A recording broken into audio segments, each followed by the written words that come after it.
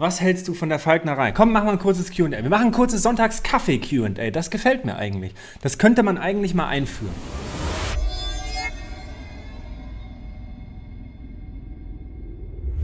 Ich kenne einige Falkner. Das sind also Menschen, die überwiegend Raubvögel halten und das aus, die machen das aus jagdlichen Gründen und der eine hat einen Falknerschein, weil er ein Tierpfleger ist und im Zoo so Flugshows macht und so. Sein Lieblingsvogel ist da übrigens ein Marabu. Und er hat immer so schön gesagt, Robert, das Geilste ist, wenn ich über die Zuschauer die, die Marabus jage. Ihr wisst, wie ich Tiere in Gefangenschaft finde, das finde ich eher so mittel. Und bei der Falknerei ist auch die sogenannte Anbindehaltung erlaubt. Das heißt, die Raubvögel von Mäusebussard bis Geier, von Falke bis wie auch immer, die darf man, soweit ich das weiß, äh, anbinden. Und dann hocken die die ganze Zeit auf dem, auf dem Stock mit so einer Haube auf und so. Das finde ich alles eher beschissen. Die Vergrämung von Tauben mit Falken, weiß ich nicht, ich muss mich mal mehr äh, in die Thematik der Falknerei einarbeiten. Ich kann nur sagen, ich mag einfach Falken in Freiheit. So. Das hab, heißt ja nicht, dass ich was gegen die Falknerei habe. Da kenne ich mich einfach zu wenig aus. Und der Typ, der den, der den Marabu hat, der ist auch ein wirklich toller Mensch und ein sehr tierlieber Meister, aber er sperrt halt auch Vögel ein, ne? ihr wisst es. Schwierig für mich. Was hältst du von Citizen Conservation? Ich weiß nicht, was Citizen Conservation ist tatsächlich. Ich könnte mir vorstellen, dass das Menschen sind, die Conservation machen, also Umwelt- oder Naturschutz. Oder meinst du, Cuprum 29, meinst du Citizen Science? Citizen Science ist nämlich ziemlich cool. Das wäre zum Beispiel, wenn ihr, wo ist mein Handy? Da. Wenn man, ich habe eine App auf dem Handy. Guck mal, könnt ihr das sehen? Da. Ich habe ja ganz viele Apps auf dem Handy, aber sind so ein paar Bestimmungsappen. Da ist ein Insektenführer dabei, Insekten- und Tagfalter Sachsen-Anhalt. Und da kann man ähm, äh, Schmetterlinge und so weiter bestimmen. Und wenn man dann eingibt, wo die fotografiert, wo, also wo das Foto entstanden ist, GPS-Koordinate und so, dann ist das Teil einer wissenschaftlichen Arbeit und damit kann man die, ich sag mal, Verbreitung von, von Schmetterlingen und Insekten in Deutschland am Ende mitgestalten. Das heißt, die Wissenschaftler wissen, aha, da wurde ein Bläuling irgendwo äh, fotografiert an der, an der Stelle, die gibt es da also noch. Das nennt sich dann Citizen Science. Da gibt es viele coole Sachen. Da können wir mal, lass uns da, guck mal, ich habe schon wieder, es ist so geil. Citizen Science. Im Prinzip ist, wenn die Taucher mit der Geisternetz-App vom WWF Geisternetze finden und es da eintragen mit der GPS-Koordinate und ich dann die Stellen abfahre mit meinem Team und gucke, liegt da wirklich ein Geisternetz, das ist auch so eine Art Citizen Science, würde ich sagen. Besitzt du einen Plan, was genau passiert, wenn dir mal etwas passiert, Entführung, Verletzung, Tod, hast du dafür schon einen Plan? Weil deine Arbeit ist ja mitunter immer sehr, sehr gefährlich. Ja, das kommt auf das Land an, wo ich so bin und äh, für mich selber ist das immer relativ einfach wie ich aus so einer Nummer rauskomme. Scheiße wird es immer, wenn mein Team involviert ist. Das heißt, äh, Paula Regisseur, Regisseurin, das ist das schwierigste Wort im deutschen Sprachgebrauch. Äh, Björn, Nico, Basti, Kameramänner und so weiter. Ähm, da mache ich mir immer mehr Sorgen, weil die Leute mir viel bedeuten. Und die dann rauszukriegen, das ist manchmal ein bisschen schwierig. Da muss man, muss man einen sehr guten Plan haben. Aber meistens habe ich einen Plan dafür. Und auch, also Plan B und manchmal auch Plan C. So ist es. Guck mal. Servus, kommt mal was zu deinem Bike im Hintergrund. Marc. Ja, machen wir mal. Wir machen mal irgendwann mein Scott Genius. Gehen wir mal rein. Vielleicht äh, rede ich da mal drüber, wenn ich äh, Fabio besuche, den Schäfer. Was hältst du von Greta Thunberg?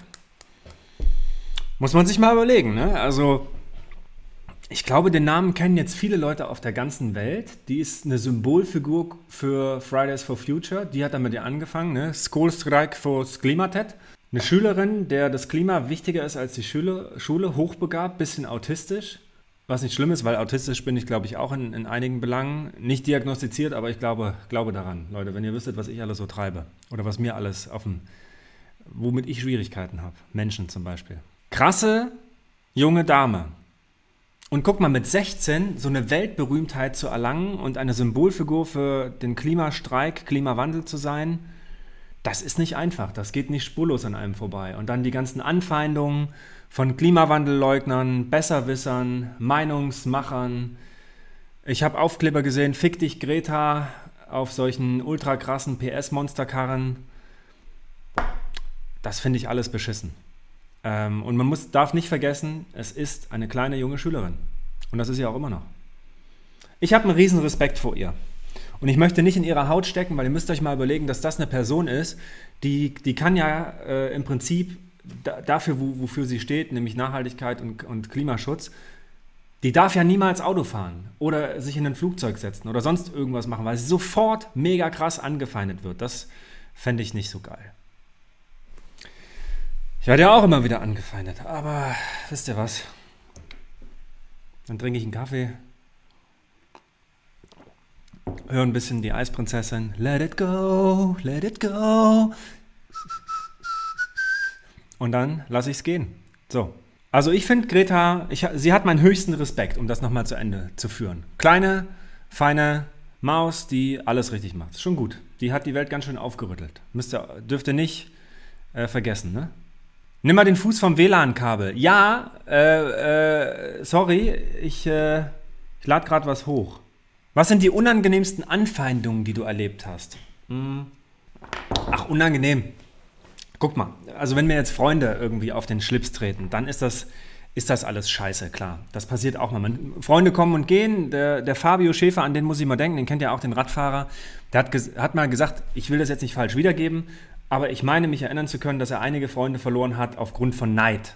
Das ist immer scheiße, wenn da, wenn da was passiert. Ansonsten, wenn einen Leute anfeinden aus dem Internet, in Kommentaren oder in Nachrichten oder in E-Mails, das sind ja Leute, die kenne ich gar nicht, dann kann ich dazu auch wenig sagen. Dann feindet mich das eigentlich gar nicht so richtig an, muss ich ehrlich sagen. Ja. Aber da kommen schon Dinger, wo du denkst, Motherfucker, Rin, ich äh, würde am liebsten Sag mir das doch mal, wenn du mir gegenüberstehst. Hat aber noch keiner. Mich, wirklich, ohne Scheiß. Das ist wie beim Gemeinecke. Da schreiben ja auch wieder die Leute äh, Sachen, oh, wo ich mal denke, dann guck den doch nicht. Dann wurdest du mal operiert? Pff, einige Male. Ah, geile Aktion. Richtig geil. Kann ich mal kurz erzählen? War nicht sehr schön. Ich sage euch ja immer, ich würde gerne vom weißen Hai gefressen werden oder von irgendwas Krassem oder bei einem Hardcore-Nature-Unfall draufgehen. Aber ich wäre, wann war denn das? Ich glaube Anfang 2020, also Corona gerade, ja, genau, es muss Januar 2020 gewesen sein. War ich auf einem Meeting in Köln und habe am Abend vorher einen Salat gegessen, liebe Freunde, mit Kürbiskern. Und habe während des Essens gesprochen, das soll man nicht machen, und habe diesen Kürbiskern eingeatmet und habe dann so und habe dann geschluckt und dachte, weg ist er. Dann war ich beim das war an einem Montag. Dann war ich, Dienstag ging so, am Mittwoch beim Kampfsporttraining und war beim Sparring nach zwei Minuten so platt, dass ich kaum noch atmen konnte und völlig im Arsch war und total krass am Ende und dachte, Alter, das kann nicht sein. Also du bist zwar jetzt nicht gerade sportlich auf der Höhe, aber das, das, das war gar nichts. So, und dann einen Tag später war ich am Flughafen und bin fast zusammengebrochen, ist mir schwarz vor Augen geworden. Dann bin ich noch in die Notaufnahme gehechelt und habe gesagt, Leute, ich glaube, ich habe einen Kürbiskern quer in der Lunge stecken. Kann das möglich sein? Tja, hatte ich. Kleine äh, Lungenspiegelung, der Kürbiskern kam raus, die Lunge sieht aus wie, wie eine Eins, das war mir das Allerwichtigste. Und äh, zack, hätte ich beinahe das Leben an den Kürbiskern verloren. Das wäre auch schwach gewesen. So, Freunde, sorry für den Lag hier im Video. Es geht nicht anders, ich lade gerade was hoch. Es ist nicht anders möglich. Hast du was mitbekommen, was in Maramer für tot erklärt wurde? Ja, für tot vermutlich nicht, aber ich muss da nochmal reingehen. Ich habe mich mit der Thematik noch nicht richtig gut beschäftigt. CatDog, hattest du mal Probleme mit Insekten oder anderen Dingen auf deiner Expedition? Dann gibt es unter Wasser auch so etwas wie Parasiten und Zecken, die gefährlich werden. Oh ja, Insekten hatte ich schon einige Probleme, von Botfly, also die die, die äh, Larven unter die Haut legen, bis ähm, ja, Mückenstiche, die sich entzünden, Sandflies, dies, das, Einzeller im Darm, die sind beschissen. Unter Wasser, sowas wie Parasiten und Zecken, ja, gibt es immer wieder. Unter Wasser gibt es, äh, boah, Tauchen in der Karibik ohne Kopfhaube, mit Licht nachts und dir flippen Würmer und alle möglichen Viecher in die Ohren. Richtig asozial. Macht keinen Spaß. Hi Robert, meine kleine Tochter hat versehentlich die toten Haie in deinem Buch gesehen. Sie war sehr traurig. Sie ist zwei. Ninja 1401. Frag mich mal, wie traurig ich war. Das Coole ist, deine Tochter wird, wenn sie groß ist und es dann immer noch Haie gibt, vermutlich ist die Scheiße wie Finning dann endlich verboten. Das fände ich geil. Vielleicht hat deine Tochter Schwein. Schaust du selbst Bear Grylls? Habe ich früher geguckt. Da war ich aber noch kleiner. Bear Grylls gibt es ja auch schon 100 Jahre, ne? Ähm, Habe ich natürlich Habe ich mal reingezogen. Wie schmecken vegane Schnitzel? Ich habe doch neulich mal ein Foto davon gemacht. Zeige euch das mal. Ich finde das nicht so scheiße. Ich finde, das sieht gut aus. Und das schmeckt mir auch noch. Die Frage aller Fragen: Hast du schon mal einen Blauwal gesehen? Na, freilich habe ich schon mal einen Blauwal gesehen. In. Oh, vor Island, glaube ich, vor Chiloa Island in Chile, vor den Azoren war ich auch mal kurz mit einem Blauwal im Wasser. Antarktis weiß ich nicht mehr, kann ich mich nicht mehr so richtig erinnern. Könnte sein. Nur ein, zwei, drei, fünf Mal habe ich schon Blauwal gesehen. Cat Dog, schon mal auf einer Expedition mit Fallen oder IEDs zu tun gehabt. Improvised äh, Explosive Devices, IED, kennt man vielleicht aus dem Film oder so. IEDs nicht, aber Fallen ja. Schon also schon äh, erlebt und selbst gebaut. Beim KSK gelernt. Mhm. Hey Robert, vielen Dank für deine Arbeit. Einfach nur geil. Eine Frage hätte ich, können Unterwasseraufnahmen mit Dauerlicht bzw. Auslösenlicht zur Sehbeeinträchtigung bei Meerestieren führen? Weiß ich nicht. Es gibt aber Meerestiere, denen tut es sicherlich nicht gut und es gibt welche, denen ist es völlig wurscht. Und man darf auch nicht vergessen, das Wasser schluckt Licht sehr, sehr schnell. Und äh, dann ist das immer nur alles halb so wild. Dauerlicht ist sicherlich nicht so schlimm wie ein Blitz. Und bei äh, äh, solchen Meeressäugern wie Delfine oder so verwende ich auch niemals Blitze. Und Fische scheint es nicht zu stören. Außer im Aquarium, wenn ihr vor der Scheibe pff, blitzt, die sind dann, da verschwindet das nicht in den Weiten des Ozeans. Also Haie stürzt zum Beispiel gar nicht, aber im Aquarium geblitzt hatte ich regelmäßig, als ich damals hatte ich unter vielen Anstrengungen Hornhechte ins Aquarium gebracht. Das gab es in Deutschland nur einmal, da war ich der Einzige, der die hatte.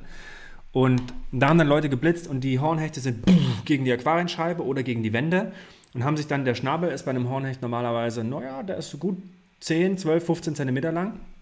Und die hatten den sich bis zum Kopf äh, abgestoßen durch immer wieder Leute, die am Aquarium geblitzt haben. Und als Aquarienleiter läufst du da durch und denkst, verdammte Scheiße, mach doch mal den Blitz aus. Es steht überall groß dran, es wird euch am Eingang gesagt, 15 Mal darauf hingewiesen. Und es sind dann immer Leute, ich weiß nicht, wie das geht. Ja, guck dir die Tiere an. Schöne Scheiße. Das hat mich immer echt angekotzt. Merkt ihr jetzt schon, da wäre ich schon wieder sauer. Meinung zum Quastenflosser. Top. Das Tattoo wird irgendwann kommen. Latimeria chalumne, einer meiner Lieblingslateinischen Namen, Quastenflosser. Ey, mal ein Video zum Quastenflosser, wie geil ist das denn? Kann ich viel drüber erzählen. Viele Bücher gelesen, ich kenne den Typ persönlich, der ihn entdeckt hat. Also, stopp, halt, ich nehme das zurück. Nicht den Typen, denn eine Frau hat ihn entdeckt. Ich kenne aber den Typen, der ihn zum ersten Mal gefilmt hat. So. Können wir einmal ins Thema Laborfleisch reingehen? Kenne ich mich zu wenig aus. Ich habe noch nie Laborfleisch gegessen. Naja, gut, ist das, ist das Beyond Meat, ist das auch Laborfleisch? Mehr oder weniger. Ne, das ist ja Erbsenprotein, dies, das. Aber äh, Laborfleisch ist ja echte Fleischzellen im Labor gezüchtet. Ich kenne mich zu wenig aus, dazu kann ich euch wenig erklären. Ist dein Lieblingsfilm Sharknado? Nein, ihr kennt mich doch. Nicht Sharknado, es ist Jurassic Park. 1. Quetzalcoatlus oder Argentavis? Quetzalcoatlus. Wie findest du Rüdiger Neberg? Guter Typ den habe ich als Kind mal gesehen. Wahnsinnig geiler Typ. Rüdiger Neberg, ey. Von dem können alle Survivalisten dieser Welt noch einiges lernen. Der war einer der krassesten. Kompensierst du deine CO2-Emissionen bei all deinen größeren Reisenprojekten? Ja. Ich versuche all das, was ich tue, klimaneutral bzw. CO2-neutral oder sogar CO2-negativ zu machen. Guck mal, mein Buch kompensiert, Podcast kompensiert, Streams kompensiert, Autofahrten kompensiert, Flüge kompensiert. Äh, T-Shirts, Shop, Versendung, alles kompensiert. Also ihr könnt ja nochmal auf der Webseite von Mission Erde gucken. Da trage ich eigentlich immer relativ aktuell ein, äh, wie viel Regenwald ich schon gekauft habe und so. Da kriegt man schon so ein bisschen äh, eine Idee, in welchen Größenordnungen das stattfindet. Freunde, ich muss aber jetzt wirklich los. Ich muss echt los. Wir müssen was drehen. Ein Ding drehen. Freunde, schönen Abend seid lieb. Ich äh, muss mich jetzt erstmal ein bisschen um Filme kümmern, aber ich gehe so schnell wieder rein, wie es mir möglich ist. Haut rein. Tschüssi.